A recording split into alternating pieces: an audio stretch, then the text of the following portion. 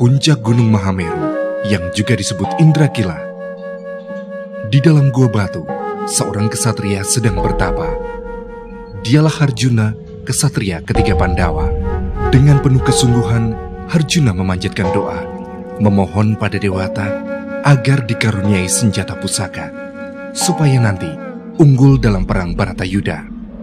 Sekian lama waktu berlalu, pada suatu malam purnama, tujuh bidadari swarga loka turun ke puncak Mahameru. Mereka menjalankan perintah Betara Shiva untuk menguji batin Harjuna. Dua yang paling cantik, Dewi Supraba dan Dewi Tilotama namanya. Dengan rayuan, sentuhan, belayan dan cumbuan, mereka menggoda Harjuna sia-sia belaka. Semadi Harjuna tak tergoyahkan. Kemudian, yang terjadi justru sebaliknya. Sekarang, para bidadari itulah yang tergoda oleh ketampanan Harjuna. Dengan dimabuk cinta, para bidadari terbang pulang ke kayangan melapor pada Betara Siwa. Harjuna lulus ujian pertama. Akan tetapi, beberapa hari kemudian menyusulah ujian kedua. Hari itu, hujan mengguyur puncak Mahameru. Betara Indra yang menyamar sebagai pertapa tua muncul di mulut tua minta permisi numpang berteduh.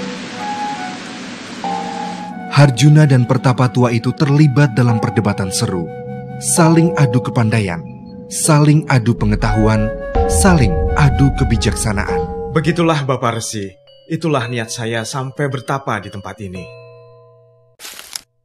Hmm, bertapa sambil membawa senjata, bertapa untuk mendapatkan sebuah pusaka sungguh bertolak belakang. Sepengetahuanku, bertapa adalah jalan menuju kedamaian. Senjata adalah alat untuk menghancurkan. Mana bisa berpadu, saudaraku? Saya rasa Bapak Resi agak kilaf. Seumpama air, hujan adalah berkah bagi seluruh makhluk alam. Namun apabila menjadi banjir, sekian banyak yang akan menjadi korban. Apakah kita akan mengatakan air adalah kutukan? Tidak, Bapak Resi. Senjata hanyalah alat, semua tergantung niat. Jika dipakai untuk menegakkan keadilan, itu berarti senjata adalah sarana untuk mencapai kedamaian, bukan alat penghancuran. Oh, putraku Harjuna. Terimalah sembah sujud hamba, Pukulun Betara Indra. Ku terima sembahmu Harjuna. Teruskan tapamu. Yakinlah, Betara Siwa pasti mengabulkan permohonanmu. Restuku selalu untukmu. Ujian kedua telah terlampaui dengan baik.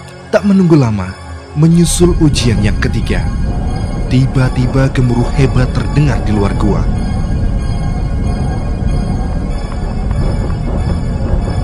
Lantai dan dinding gua bergetar dahsyat. Harjuna pun segera bergegas keluar.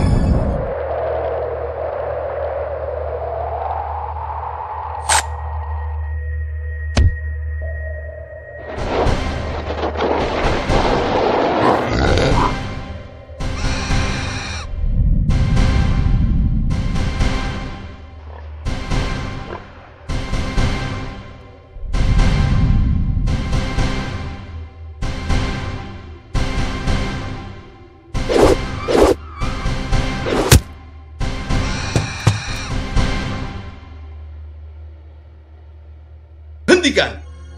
Mau apa itu? Mengambil anak panah saya, Raden. Lihat, masih menancap di kepala babi hutan ini. Apa kau bilang? Dasar pembohong. Aku yang membunuhnya. Berarti anak panah itu kepunyaanku. Saya tidak berbohong, Raden. Anak panah itu betul-betul milik saya. Masih juga berani bohong. Pertapa macam apa itu? Baiklah, Raden. Kalau Raden merasa yang telah membunuh babi hutan itu, Silahkan ambil anak panahnya. Tak apa-apa, saya masih punya banyak anak panah. Hanya sebatang anak panah, tak perlu sampai ribut-ribut begini.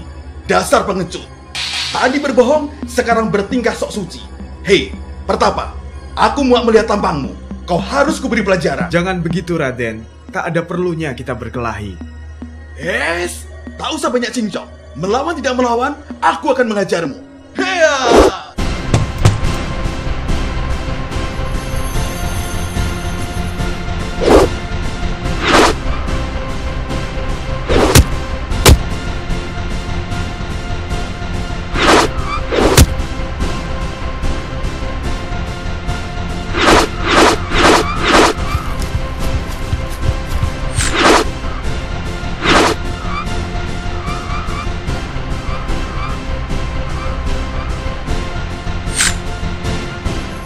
Jagat Dewa Betara. Benar Harjuna.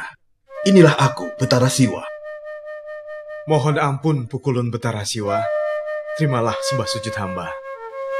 Aku tak ragu lagi Arjuna. Memang kaulah yang pantas menerima panah sakti, Pasopati.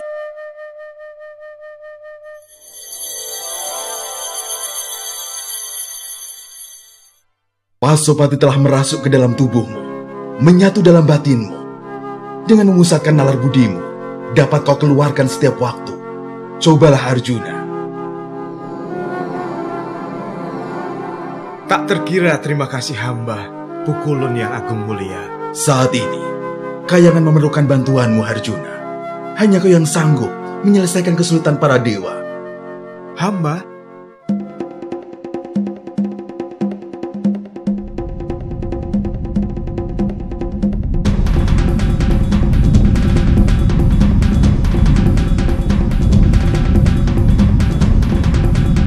Niwata Kawaja, Raja Raksasa dari Mani Mantaka, Sakti Mandraguna, namun tamak luar biasa.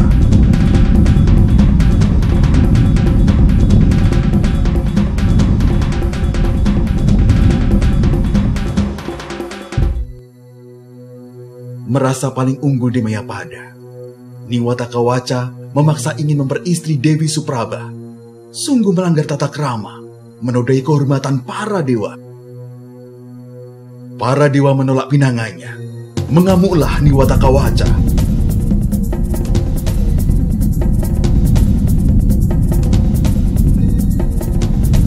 Dulu, karena kesungguhan tapanya, oleh Batara Rudra, Niwata Kawaca dianugerahi kesaktian, tangguh tak terkalahkan, kebal segala macam senjata, namun bisa ditundukkan oleh manusia sakti yang sedang melaksanakan niat suci.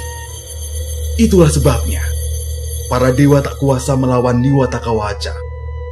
Jika besok pagi Dewi Supraba tak diserahkan, kayangan akan dihancurkannya.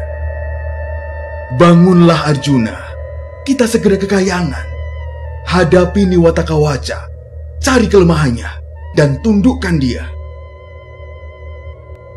Uh, pasukan siap tempur Gusti Prabu Niwata Kawaca. Para dewa tak bisa diampuni lagi. Batas waktunya sudah lewat. Dewi Supraba tak juga mereka serahkan padaku. Uh, suruh pasukan maju. Serbu, hancurkan kayangan. Pasukan, maju! Tunggu, Dewata Kawaca. Akulah lawanmu. Kalau kau jantan, ke sini, hadapi aku. Uh, siapa itu sudah besar hidup berani menantang Prabu Niwata Kawaca? Aku, Harjuna, jago para dewa untuk menghukum dan mencabut nyawamu. Uh, kurang ajar. Anak kemarin sore berani menghina Prabu Niwata Kawaca. Aku robek mulut lancangmu. Biar kami yang maju menghadapinya, Gusti Prabu. Tidak. Aku sendiri yang akan mencincang tubuhnya. Biar para dewa melihat apa yang terjadi kalau menentang Prabu Niwata Kawaca. ha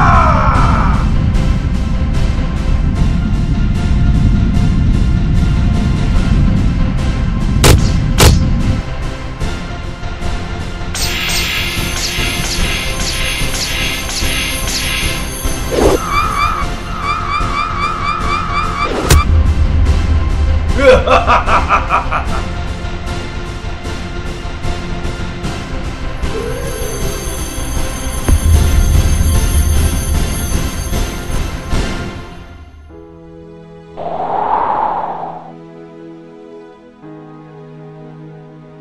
Supraba. Prabu Niwata Kawaca, Raja Perkasa Sakti Mandraguna, terimalah sembah Dewi Supraba. Uh, minggir Supraba, biar aku selesaikan manusia laknat itu. Tak usah Kanda Prabu mempedulikannya, orang ini sudah mati. Hamba membawa titah Betara Siwa, para dewa bertukuk lutut menyerah kepada Kanda Prabu. Kanda, kau memanggil Kanda kepadaku. Eh, apa maksudnya ini Supraba? Semua ini hanya ujian untuk mengetahui kesaktian Kanda Prabu Niwata Kawaca. Dan sungguh terbukti jago para dewa pun tak mampu mengalahkan Kanda Prabu. Kanda Prabu memang layak menerima Dewi Supraba. Jadi mulai sekarang, saya harus menggunakan sebutan Kanda. Aku masih belum percaya para dewa akhirnya menyerahkanmu padaku, Supraba. Supraba sudah di sini. Kenapa Kanda masih ragu? Jangan menggoda aku, Supraba. Kemarilah. Sabar Kanda, Suprabamu ini takkan lari ke mana. Supraba pasti jadi milik Kanda. Jauhkan bunga itu. Tak boleh ada benda apa pun dekat-dekat mulutku. Kenapa Kanda? Bunga itu berduri. Hanya duri kecil, kenapa Kanda begitu takut? Karena, karena, uh, sudahlah Supraba, itu tidak penting. Kanda merahasiakan sesuatu. Rupanya Kanda tak cinta padaku. Ah, aku sungguh-sungguh mencintaimu, Supraba. Bohong, Kanda tak jujur padaku. Itu artinya Kanda sama sekali tak mencintaiku. Baiklah, Supraba. Kemarilah. Ini rahasia, Supraba. Jangan sampai terdengar siapa pun. Aku tak mau ada satu benda tajam pun dekat mulutku. Karena dapat melukai ujung lidahku. Sebab di situlah letak kelemahanku. Dewi Supraba, minggirlah.